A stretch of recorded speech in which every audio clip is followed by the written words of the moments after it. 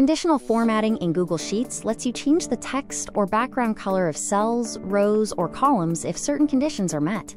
In this video, you'll learn how to use conditional formatting rules. Let's get started. First, select the data you want to format. Go to Format, and then Conditional Formatting. A sidebar will open on the right, under the Single Color tab. The first dropdown is where you choose your rule. You can set rules to highlight values that are greater than, less than, or equal to a specific number, among many other options. You can also specify text or even custom formulas. Below the rule, you can customize the formatting style, such as text color and fill color. To add another rule, click Add another rule.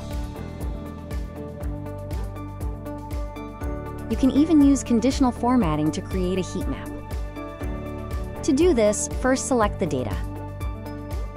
Go to Format, and then Conditional Formatting, but this time click on the Color Scale tab.